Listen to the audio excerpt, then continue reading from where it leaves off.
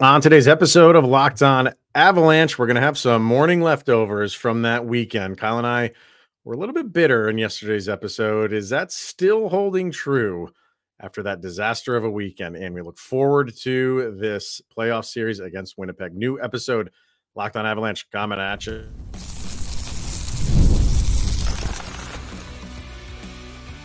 Your Locked On Avalanche, your daily podcast on the Colorado Avalanche part of the Locked On Podcast Network. Your team every day. All right, everybody. Welcome to the Locked On Avalanche podcast, part of the Locked On Podcast Network, your team every day. I'm your host, Chris Maselli. With me, with me as always, Mr. Shaggy Von Doom, Kyle Sullivan. Thank you for tuning in and making it your first listen of the day. Always appreciated. Make sure you're following us on our social media outlets, LOP and underscore avalanche on Twitter X, Locked On Avalanche, Instagram, and threads. Questions, comments, concerns, opinions, locked on avalanche at gmail.com.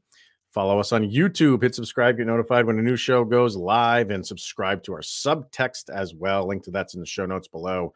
And when you do, chat with Kyle and I one on one. We share your opinions and everything Avalanche related on this very podcast, which you're going to want to get signed up for that come playoff time. So uh, a lot's going to be happening there. On today's episode, uh, we're going to kind of look ahead. I know we have one more game left in the in the regular season, uh, but we're going to look at this playoff series against Winnipeg and break it down by different categories like who has the advantage in offense, defense, special teams, goaltending, uh, coaching, and the intangibles. So, kind of gonna look at those things individually, see where things play out. Where do Avs have the advantage? Where do they not? Not gonna do predictions or anything like that right now. A little bit too early for that but we'll start with kind of how we've been doing all season long. Just kind of another take on the most recent game or games. If you want to lump the weekend in as one, why not? And, uh, you know, 24 hours removed from that, are we still, uh, you know, because when we recorded, you know, the, the, the Monday episode, that was fresh. That was, that was raw. That was, it, it was after a, a, a terrible, how does how's it what's that how's that book go? Terrible no good very bad horrible weekend. Yes. Or whatever order you want to put those terrible words in feel free. How are we feeling though another 24 hours removed from that? See and uh, the way you're talking like i think we were correctly focused on the outcomes of both games but there was a little bit in the middle.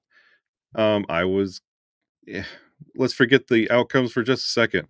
After that after Winnipeg put a touchdown on Colorado, they responded the next day, coming out against Vegas looking relatively good. And that's what you want a bounce back.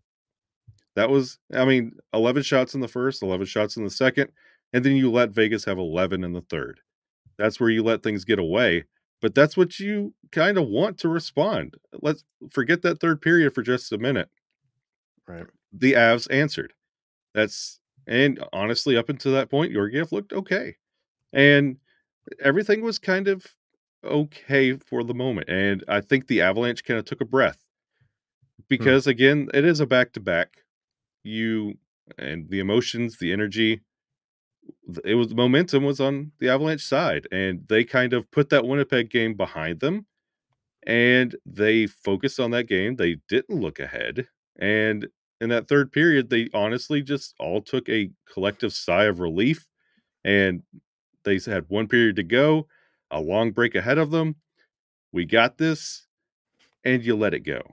But the first two yeah. periods, that's that's what you want to see after that embarrassing, honestly, probably one of the worst Avalanche games I remember against Winnipeg. That's what you want to see in a response. Uh, it is for 40 minutes. Um, and has my mindset changed? It hasn't really, Kyle. And, and I, I agree with a lot of what you said right there. Uh, but I, I kind of am at the mindset of at this stage in the season and what that meant against Winnipeg. Um, it fine, it happened. You don't want stuff like that to happen. Fine. I actually liked the fact that you didn't have to dwell on that for too long mm. and you could turn right around and and you know atone for that right? And like you said, they did. They did for for 40 minutes. They were. And I if it was, you you took your foot off the gas, which I don't think that that was the case, but if it was, why? Why are you doing that? The job is not done. You know, it, it, if it's a normal back to back, we we none of us like back to backs. We say it all the time in back to backs. Like you, you, a third period is very difficult for the team on on a back to back. But for me, there were moments where I forgot the Avs were on a second game of back to back. Not not not, not yeah. saying that like like honestly, yeah. But it was like you know you you you were playing for something in this in in the second game against Vegas because of what happened the day before. I'm not saying like you forgot about it, but you can't go into that game against Vegas like no, th- this is a game that we need to play the full 60 because of what just happened. And they did not. They didn't. And and I'm still at the point of concern over over everything. And I think the, it, if if it was not the Jets, uh, maybe the concern wouldn't be as high. Mm-hmm. And and I'm not taking and for me it's matchups, and we will get to them. Uh, but how you you know what what you've seen between the Avalanche and the Jets this year, that's kind of where it, it's it my mindset is, and I'm not taking anything away from from the Dallas Stars because they could, you know, they, they could be the number one seed in the West. Um, it's looking like they could be. If if that was your matchup, I would I would be feeling pretty good because of how you played them during the regular season. So just it, it, all encompassing of, of the whole season between you know matchups and and and who who the better matchup would be we said it last week. It would be to me, it's anybody but Winnipeg. You haven't shown that you can play them well, and there are aspects that you can beat them in. Uh, but it, it is going to be a challenge. Dallas would be a challenge. I'm not saying you'd roll over them, but just just going off of that, just going off the matchups, how you've played your opponent, I would feel more comfortable uh, heading into a series against Dallas or or Nashville or, or even Vegas. How you played Vegas wasn't bad. Um, but going in against Winnipeg, you just man, you're you're like it's doable, but it, it you, you got to be on your game.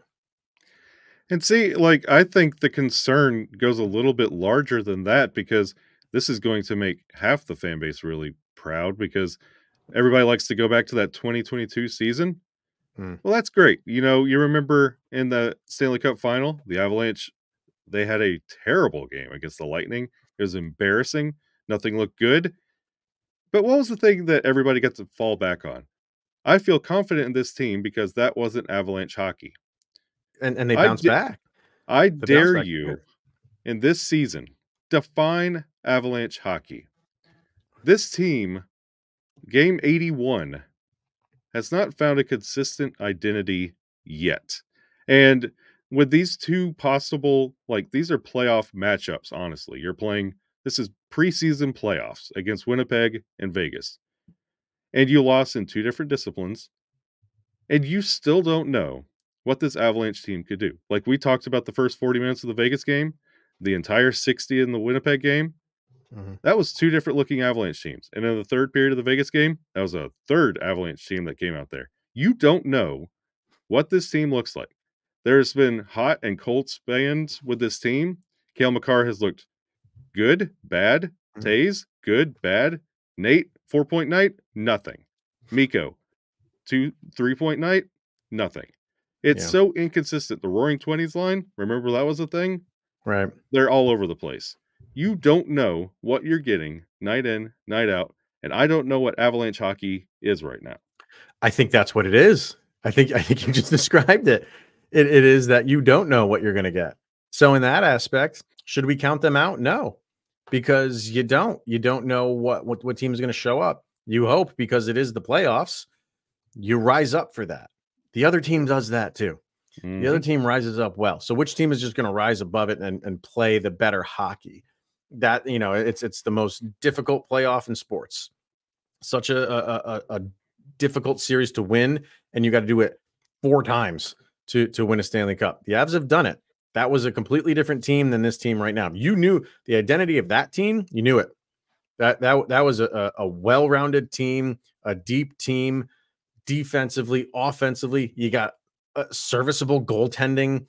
Now you get that stuff a little bit here, a little bit there, you know, not all at once. So, you know, you've, I mean, you have seen glimpses of it. The nine game once a month winning streak. Yeah. Like the nine game winning streak, like things were coming together. We felt so good heading into the All Star game. You felt so good. So you've had those moments. And then what follows, like heading into the All Star break, what followed? February wiped all that away. After the the the trade deadline, you had a nice run and a nice winning streak with all these new pieces. You're like, yeah, now we got this together. What's happened recently? Last couple weeks wiped all that away. So it's it's been such a polarizing season for this team. So I, I'm kind of just like palms up, and it's like I'm expecting anything. I'm expecting a seven game series that they win. I'm expecting a seven game series that they lose. I'm expecting a four game sweep of them. Uh, I'm really not expecting one by them. I don't think you can. That'd be really, really impressive if they were able to sweep uh, the Jets with with that goaltender. But um, it, it's really just, and I guess in that aspect, Kyle, it maybe it's a little bit exciting. Maybe for some people that's not, uh, because I know a lot of you know sports fans for their team want to be dominant and just roll over people. I would like that too. Uh, but from a viewership standpoint, this could be an entertaining series. Yeah, you're seeing the best seasons for Cale Makar, Mikko Rantanen, Nathan MacKinnon. You're seeing the, this Avalanche team win every way possible and lose every way possible. Yeah. So true. you're completely confident and completely just lost on what this team can bring and detached from the regular season when it's basically a brand new season going into the playoffs. You're optimistic and scared all at the same time, on top of that energy that the playoffs bring. So let's look into some uh, different categories between these two teams and where we think uh, the advantages lie between them. Uh, and we're going to do that coming up next. First, let's hear from FanDuel. It's playoff time in the NBA and NHL. Baseball's in full swing, and FanDuel is your place to bet on every game. Right now, new customers get $150 in bonus bets guaranteed. That's 150 bucks win or lose. So bet on everything from slap shots to home runs to slam dunks, all on an app that is safe, secure, and easy to use. So what are you waiting for? Visit fanduel.com slash locked on and make your first bet an automatic win. FanDuel, America's number one sports book. Go sign up today. All right. So if you're watching over on YouTube, we're going to have uh, a, a little – graphic that we're going to put up. Let me just adjust some things here. There you go. So um there it is. All right. So there's what we're going to kind of look at right now. We're going to do offense, defense, special teams, goaltending, coaching, and the intangibles, all of the things that maybe don't show up on the stat sheet, and maybe things that do show up on the stat sheet, face offs. Uh, so we'll we'll we'll kind of go through these one at a time, and obviously we'll start with the offense we know what the Avalanche can do offensively. They they are the best offensive team in the league uh, in terms of goals uh, per game. But when you know you, you can you you can roll that stat out, but just look at the offensive ability that this team has. Right. Obviously, you have Nathan MacKinnon. Obviously, you have Mikko Rantanen. On the defensive end, Cale Makar pitches in clearly on offense. Um, you have Val Nichushkin, who is just a force up front. Uh, Artturi Lehkonen, who is, is, you know, he's coming into his own, obviously, offensively, and he's great on the forecheck, as is Val Nichushkin.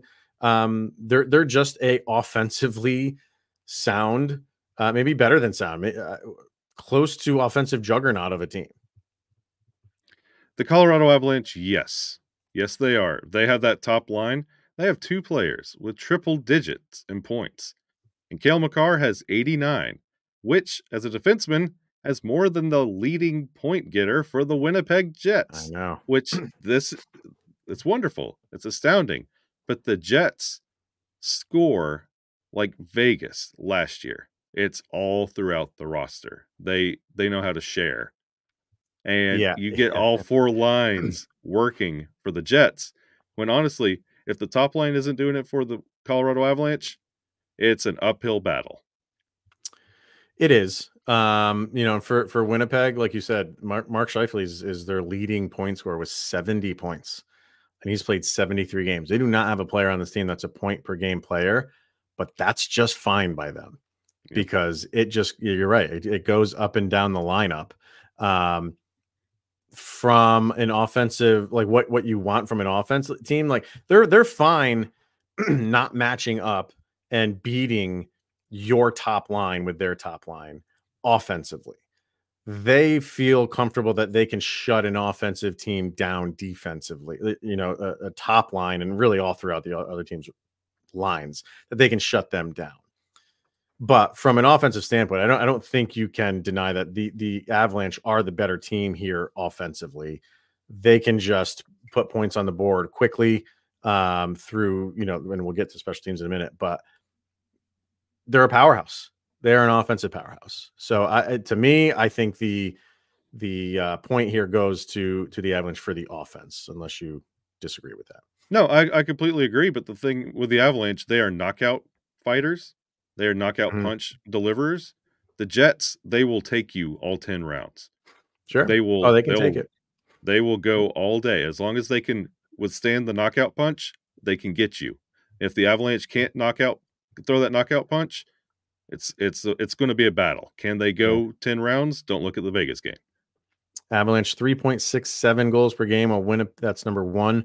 Winnipeg, a little bit less than uh, halfway through the the teams are at 3.14 per game. And I know that doesn't seem like a lot, but just you know, and it is over the course of a season.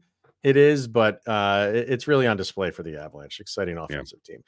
Defense. Um, this this this was a difficult one because at the beginning of the season, you, you just felt good about where the Avalanche were defensively, and they have clearly struggled uh, through this this season on defense.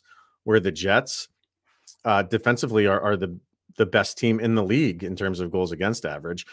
They are a very sound, solid defensive team. And see, that's the thing here. We're talking, we just talked offense. Now we're talking defense playing defense. And if you want defense playing defense, that's Winnipeg Jets. It is. If you want defense giving you offense, we just talked about Cale Makar, but it's Josh Morrissey for the Winnipeg Jets. Like they they know how to play defense. They know how to make your life miserable. And Winnipeg, they take the cake when it comes to defense.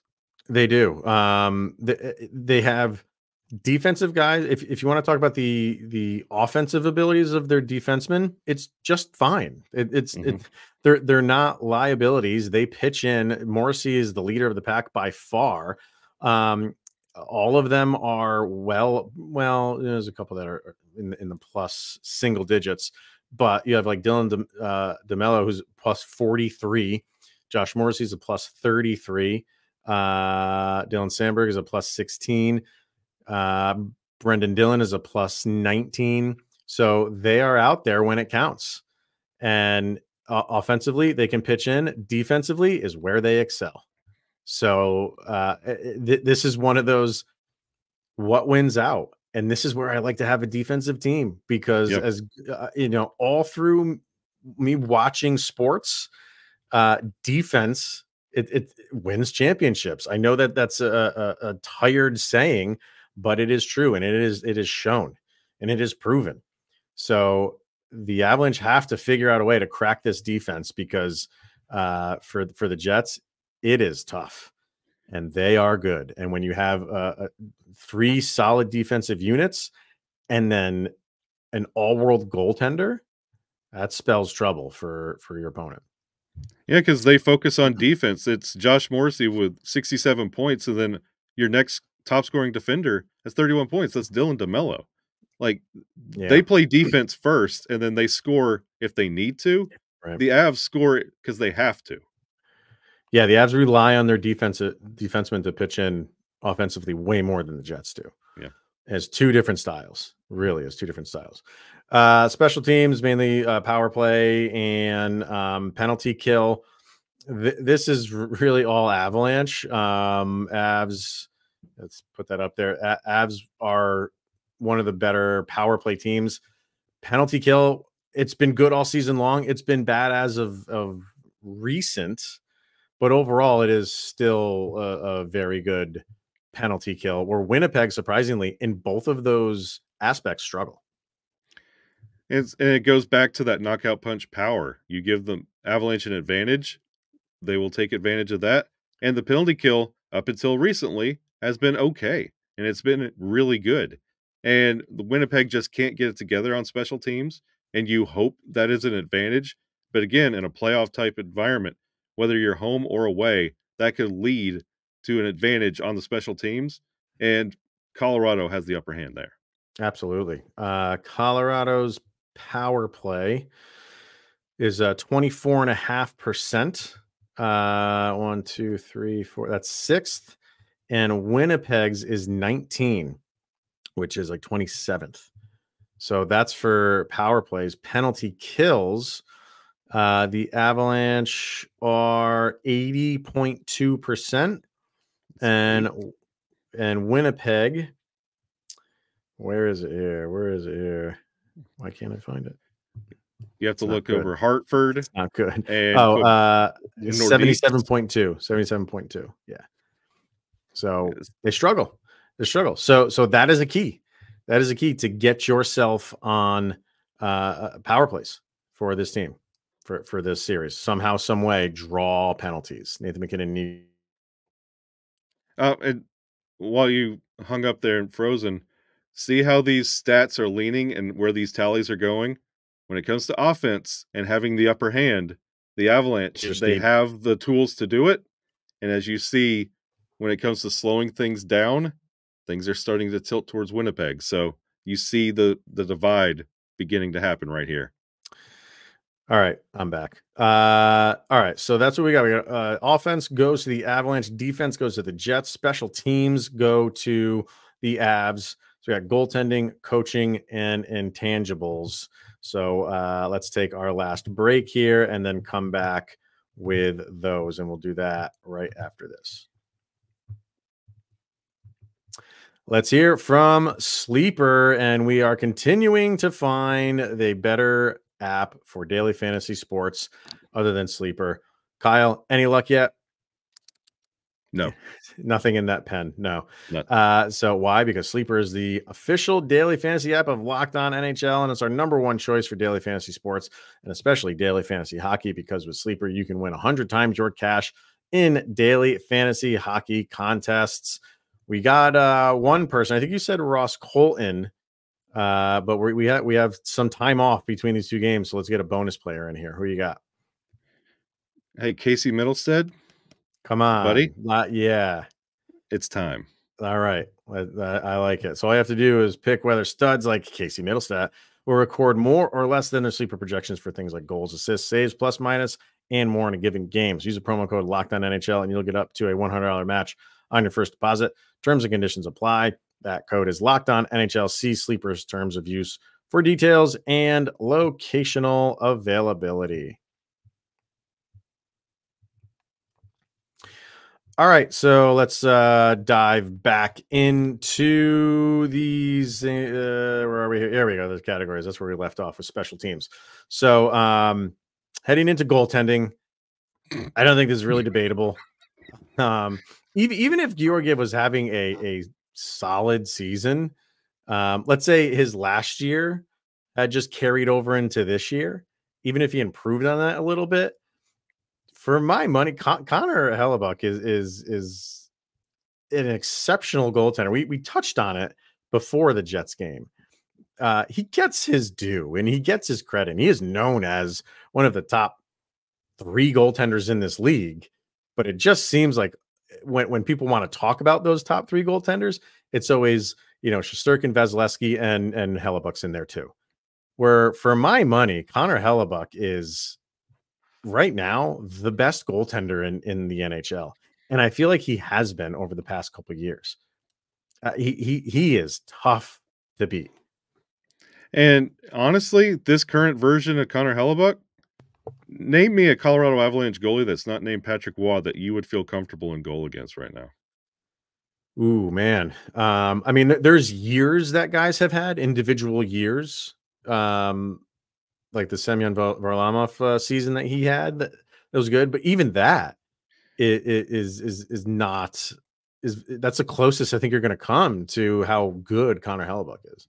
Yeah, because this is the year that everybody's saying this is a Vezina year for him. Like this is the year that we talk about like he finally gets his due. This could be Nathan MacKinnon when it comes to the Hart and him getting his due and his hardware. This could be Connor Hellebuyck's year. Deservedly so. And uh, honestly, a little bit too long on that. Connor Hellebuyck, it could be up there in Hart trophy yeah. voting. I mean, uh, as far as the Vezina, I, I think he's got to have that at, least. Um, but he he could be. I, I, don't think he'll be in the top three um, for Hart, but it, it's it's possible. He's been that good. Um, he is 36, 19, and four overtime uh, losses, 2.38 goals against. His save per, uh, percentage is uh, uh, 922 it's it's it's just elite level. It's elite level stuff and and when on the other end when that is the big question mark for the avalanche and it is the absolute farthest thing from a question mark on the Jets side of thing that that is short up for them. That is one thing they do not have to worry about at all. They know however many games this goes connor hellebuyck's in goal and for the Avalanche, it's we don't know what's going to happen from game to game. This, this is where this series is going to be decided. I don't think there's really in the special teams. If you can get uh, power plays, if you don't, it's very tough to beat this team. Yeah, look at this graphic right now. That offense up there that screams Avalanche, this goaltending that screams Winnipeg. This is the matchup of the series. What breaks first? It's tough. And and you know, and next one up is coaching. Um, you know, you got Rick Bowness, obviously, and Jared Bednar. Um, to me, I, I like Rick Bowness. Nothing against too. Rick Bowness. I like him. I, I, feel like he he's he's a good coach. Um, when I was looking up his his his record, I was a little bit surprised that you know how kind of poor it is. Um, but and for Jared Bednar, it, it's just been all with the exception of that first season. Um, but that's not where we're coming into play here. Like this is just this year. Um, I still give it to Jared Bednar. I still just mm-hmm. feel like he he is uh, a, a player's coach. I know some people harp on him for not making adjustments. I feel like he does. I feel like he's very good at making adjustments. He's not afraid to switch up the lines on the fly. Um, I don't know if the Jets do that a, a ton, but I know Jared Bednar does, and he's not afraid to do it, and he does. He does make adjustments. I know people think that he doesn't, but he's very good at doing it. So I I lean Jared Bednar here for for the coaching part of it. Yeah, I lean Jared Bednar here because of hardware, but honestly, Rick that Bowness too, yeah. is evil timeline Jared Bednar. He is also a player's coach. He knows how to fire up his team. Like his record doesn't show it, it but doesn't. every team that he is at the helm of, they love Rick Bowness. He sure he loves his team. He puts out the best team, what however difficult that has to be when it comes to coaching decisions. Bowness does it. And I'm giving it to Bednar, not being burgundy and blue glasses here. Bednar has proven it. He's done yeah. it. And this team also sells out for Bednar. So I'm going to give it to Bednar here. Um, I mean, we we could, if we wanted to, put a, a logo on each side of this, mm. but I, but I, but I, you know, like you said, he's got the hardware. Obviously, crazy enough. Bowness is coached in 108 games. He's 308, 408, uh, 48 ties, and and 37 overtime losses. His his uh, win percentage is a point four thirty eight. That's pretty. That's not the greatest.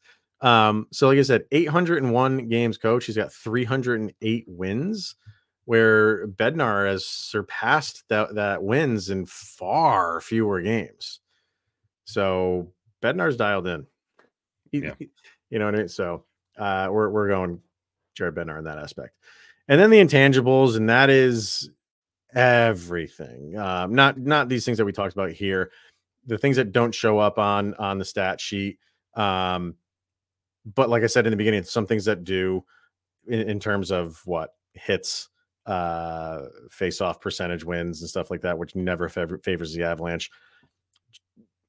How the Jets have matched up with the Avalanche this year, they do all of that stuff to a T. And that's where I think Rick Bowness comes into play here for them is they have he he knows this team and he know he knows the perfect system to for them to play and he doesn't try to overextend them.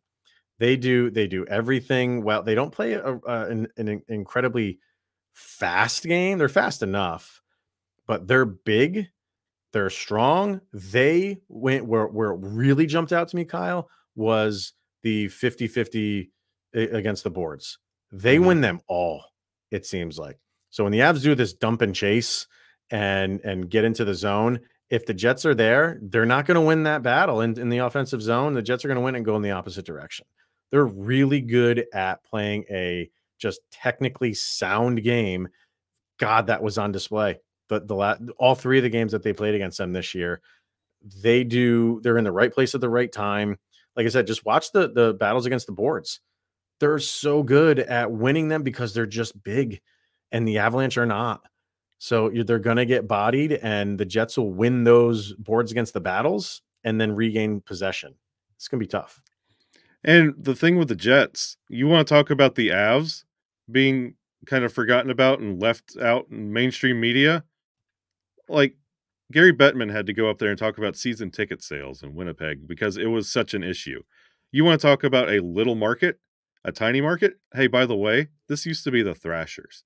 Like, for goodness sake, like this team, for everything they are, going back to Rick Bowness, this is a good team that believes yeah. in what they do night in, night out. That you know what Winnipeg Jets hockey is going to be, and you have to stack up to that. The Colorado Avalanche are a good roster, a good team of good players, but they haven't figured out who they are. Rick Bowness has this team believing in what they do and the talent that they do. You see it in points, you see it in their hustle, night in, night out, even doesn't matter how big, how loud the crowd is, they will perform because they believe in this team. The Avalanche, they're emotional. You'll you like we talked about in the first segment. You've seen them win and lose in so many fashions. The Jets, they do what they do. They're blue collar and they sell out for themselves. And you touched on, um, you know, the arena and uh, struggle with ticket sales. People will show up because it's a playoff series. Mm-hmm. And it and, it's you know looking like the Jets will have the home ice for this. That can be a tough place to play. They got the white out. Everybody's wearing the white. Like that that that arena is going to be rocking. Avs are used to that. I mean, you know, you you you go you play Stanley Cup final in Tampa. You know that that's a difficult place too. But um, in last year they had to go through it with Seattle. Mm-hmm. anywhere you go when it comes to playoff hockey and you're in enemy territory, it's going to be difficult. But that is another thing that's another just added intangible that the Avalanche are going to have to weather here. so there's no sugarcoating this. People like it's it's going to be tough. It's it's going to be tough. You have advantages. Your offense is an advantage. Your your special teams is an advantage. They have advantages too, and obviously their defense, clearly their goaltending. So that's going to be the the collide here. Which one wins out? To me, more often than not, defense and goaltending is where you need it. But if the Avalanche can figure it out, if they can figure out how to win those battles to, to, in, in uh, along the boards, how to just keep offensive possession in, in, their offensive zone, figure out a way to crack Hellebuyck. These are all a laundry list of things that you got to figure out how to do. It's going to be a tall order. I have I have confidence in them uh, but I also know that you know it, it, it's it's it's a haul. It's gonna be a long haul, but it should be exciting. This is low key probably going to be one of the best matchups in the opening round for the Western Conference because this is power, flash, and speed versus the intangibles, the grit, and the essentials and the fundamentals of play. This is tortoise in the hare. This is Porsche versus a Sherman tank. This is like your two disciplines of hockey, the old school way or the new way of hockey put in a seven game series. You can't get any better than this. I think that's a good way to put like the the Avalanche are exciting. Like when you watch them, they're fast, they're flashy, they can put put points on the board. Winnipeg is we're gonna I don't want to say slow things down, but we're just gonna do things technical. and it Mhm. might not be fun to watch, it might not be exciting, but it wins games. And isn't that what it's all about anyway? No matter how you get there, doesn't matter if you do it the Avalanche way or the Winnipeg way, a win is a win is a win. So the the, the Jets are going to do things their way, the Avalanche are going to do things their way, and we'll see who outlasts the other. Winnipeg is what the Islanders have been trying to be for the last 10 years. Oh God. And can't figure it out for some Nope. reason. So all right, that is going to wrap it up for today, everybody. Thank you for tuning in and making it your first listen of the day. We won't have an episode tomorrow. I have to go to a Pearl Jam listening party, believe it or not. New album's coming out on Friday. I have a Taylor going- Swift one coming up. Uh, do you? Yeah. Uh, I, I, yeah. I, my, my brother and I are heading to a uh, advanced Pearl Jam, yeah, uh, record listening part. So very excited about that. So, Awesome. um, yeah. So we won't have an episode tomorrow, but we'll be back the day after that. Discuss anything going on as related. Get ready for this uh, finale against Edmonton. Until then, he is Mr. Shaggy Von Doom, Kyle Sullivan. I am Chris Maselli. This is the Locked On Avalanche podcast. Thanks for tuning in, everyone. And we'll see you guys later.